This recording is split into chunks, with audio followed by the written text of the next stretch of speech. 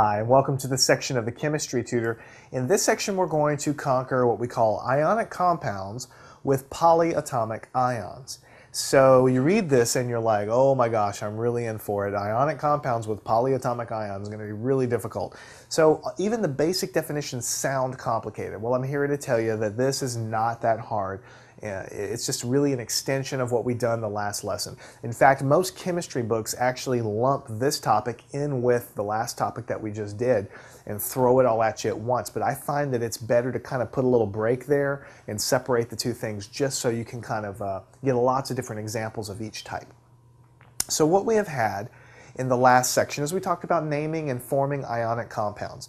We basically said that, look, there's a metal on the left-hand side of the periodic table that likes to form positive ions. Combining with a non-metal on the right-hand side of the periodic table, then they like to form negative ions. So you have a positive ion and a negative ion. Opposite charges attract, so those are the forces that hold these ionic compounds in place and make them stable, right? But in general, every example we did in the last section was one ion on one side of the table, one ion on another side of the table, and we stick them together. So it was always, you know, sodium chloride, potassium bromide. Uh, you know, you could go on and on. One element plus one more element.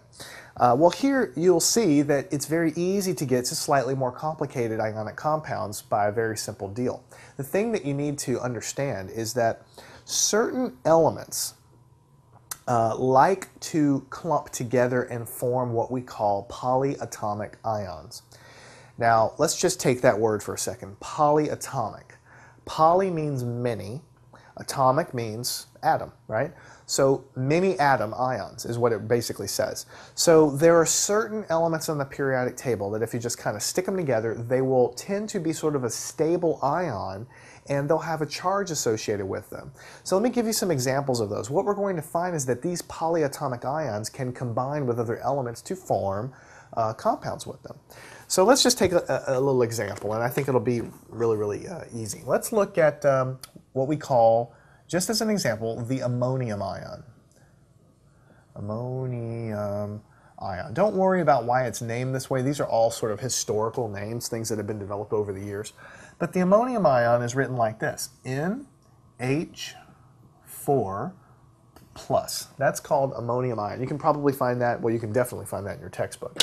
What it basically says is that if you take nitrogen, one part nitrogen, and you basically mix it with four hydrogen atoms, then it's going to want to form a stable arrangement, but the, the, the uh, end result of what it forms is not neutral. It still has a charge on it. It's got a positive charge in this case. And you can, you can kind of think about that when, when you look at the periodic table. Nitrogen likes to form uh, negative 3. Nitrogen likes to take on 3 electrons. Each of these hydrogen atoms likes to generally shed an electron to be a positive. so if you take four of these positive hydrogen atoms and one of these nitrogens that has negative 3, and you can somehow make them stick together, then the resulting um, uh, arrangement is not going to be neutral. It's still going to have a negative, a positive charge on it. So that's what the plus means. It means plus one. So this is called a polyatomic ion. It just means that in nature, sometimes you put these things together and it's still stable, it still likes to hang out together, but it still has a positive charge associated with it. So let's go ahead and write a few more down and uh, see what some of these things look like. You may have heard of some of these things. Uh, carbonate.